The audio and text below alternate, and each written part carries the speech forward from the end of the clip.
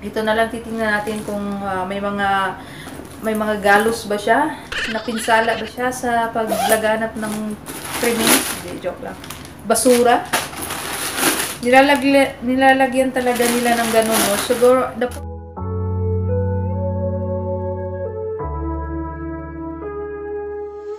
I can only imagine how it is to be with you. From the first day I saw your face, I knew this.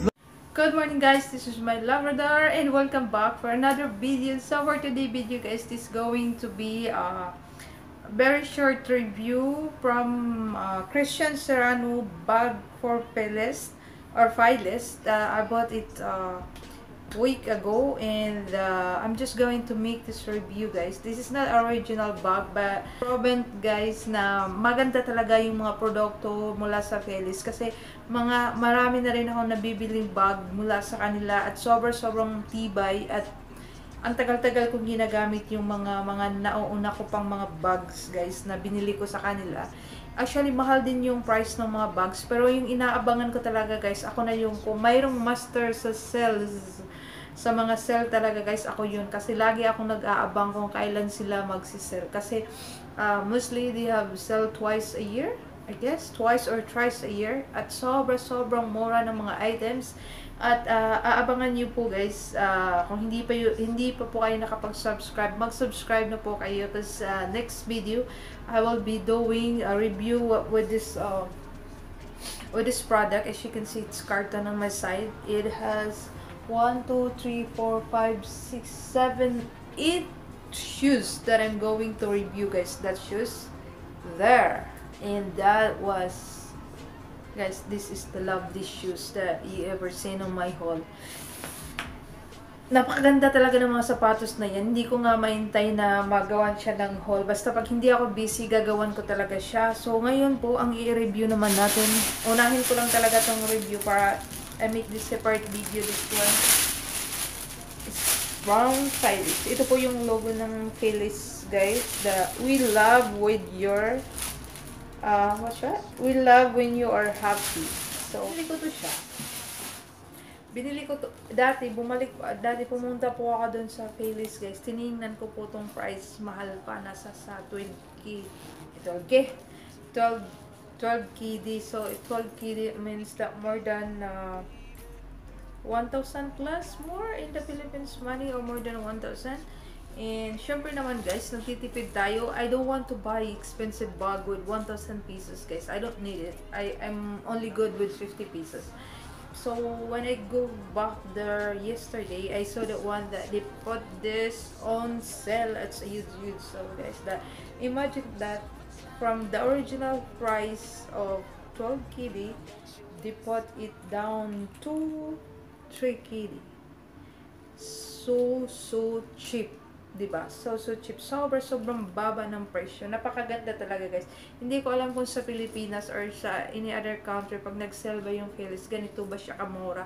Or if, for example, if they have um, like 300 pieces uh, items of shoes or bags, they can go down like 50 pieces. I'm not sure about it, but here in the Middle East, guys, they really go down to this kind of price. And uh, this kind of bag is not my type. A little bit not my type. It's too big, like it's too big for me. But I said uh, I bought two two bags with the same colors. This one, uh, because I think that I will I will be use the the one and the one the other one I will uh, give it to my uh, sister. So this is the gonna call that one? A cross. You can use it cross or you can use just like that handy handy bag. Pag mga handy talaga dito guys hindi ako hindi ako ganun hindi ako magamit. Mga ganyan ganyan na forma no it's not my type. I always like to have this cross bag. And the best thing about it this is so long that you can put it cross like that. Oh maganda. At pwede mo siyang ma-adjust kasi mahaba siya. And the the outlook is really good. Soft soft siya. Ito matibay din naman to talaga siya eh. so yung bag may basura. Unboxing basura. Hindi. Unboxing basura. Ako natin basura. So, mayroon po siyang ah, parang, uh, uh, gonna call that one, zebra. Parang striped cotton po siya. Striped nga. So, mayroon po siyang ah, packet dito na walang zipper.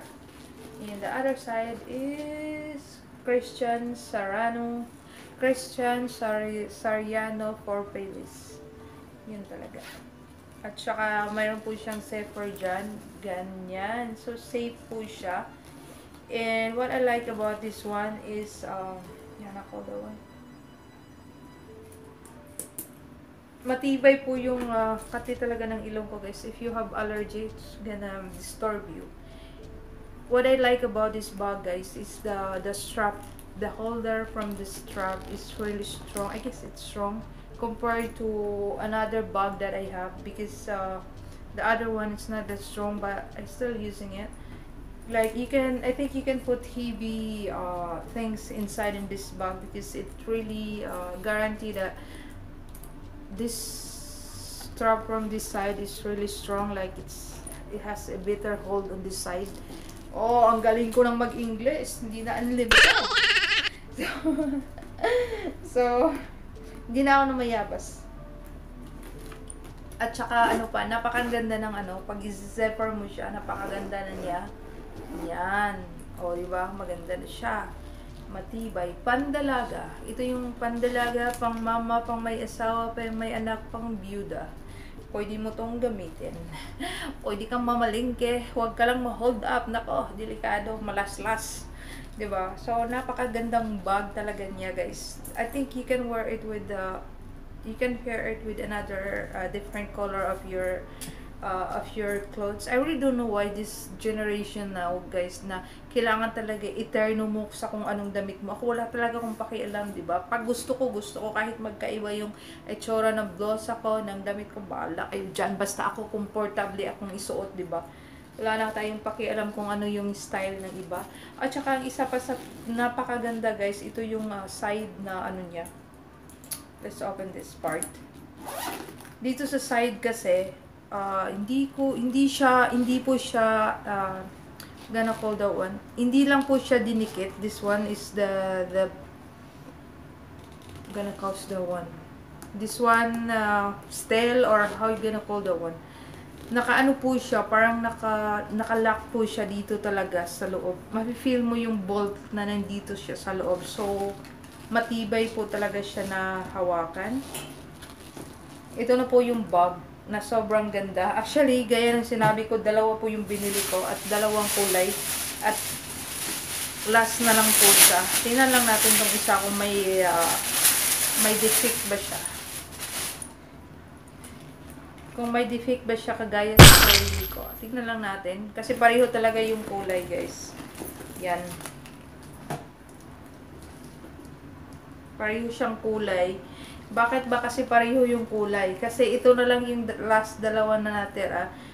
Kung gamitin ko man to, or ayaw kong gamitin, may mga kapatid naman ako. Actually, we are, we are four girls in our family and I'm in fourth. I have two older sister sisters and I have one younger sister and I have one younger brother and my older brother died from the accident. So, so ito po yung magandang design at may pa sharing-sharing pa po dito siya.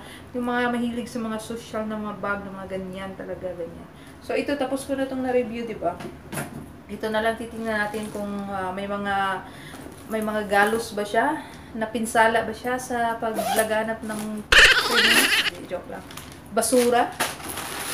Nilalagyan, nilalagyan talaga nila ng ganun, no? Siguro, the purpose of this uh, empty, uh, this empty paper inside is to let the bugs not fold. So, it won't damage the the outside the uh, lock, oh, di ba? Buot-buot tagpuan, hatag-ong conclusion. So, Pareho lang din siya guys. Pareho lang, walang pinagkaiba. Mayroon po siyang zipper dito at napakalalim. Napakalalim po ng uh, compartment niya. And ito, matibay naman yung zipper. Wala naman problema. At dito sa mga tahi-tahi, wala naman tayong nakikitang problema. Okay naman siya. And this one, this part is okay. At saka talagang napakatibay niya. Napa, mayroon siyang triple na tahi pa siya guys. Para mag-hold siya. Hindi lang siya basta dinikit lang. Then the zipper is, let me check the zipper if they have a problem or not. Oh, mas madali din siyang i-close. Ganyan. Sirain natin. Tsaka ito. Oh, maganda, di ba? Yan.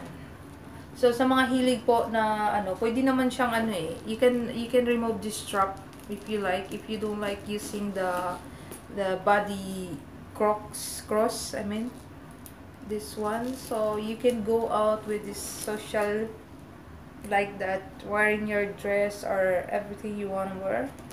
But, I don't like holding it like that. So, ito yung strap. So, pwede mo naman din siyang itago sa loob kung ayaw mo. Yan, tago mo na lang yan. Tapos, ganyan na siya. So, ganyan na siya. At saka yung isa, yung hindi ka tinanggalan ng strap. So, yan lang po ang aking review guys dito sa Porsche. Tawag ba nito? Porsche handbag, whatever. Mula sa Christian Sariano for Peles. Files na napakaganda at napakamura. Kung andito lang po kayo talaga guys sa Middle East, mabubusog po kayo sa sobra-sobrang sale ng Pilis. Tsaka sa mga kaibigan ko na nandito sa Middle East, if you are looking for not so expensive product but good quality, you can check out any Pilis um, stores in our uh, we call that here uh, Jamia, which is a big supermarket or cooperative, or even in the malls here. I'm not sure if they have, but I almost see Phyllis in a different supermarket here in Kuwait. So this one is really good. And this is not a sponsor guys. I bought again with my own money. And uh, thank you so much for watching this review. Ang ganda lang ng kulay, di ba? And uh, if you haven't subscribed guys, please click the subscribe button so be update, updated every time I will post the video. And thank you, thank you so much for watching. Bye-bye and see you all again.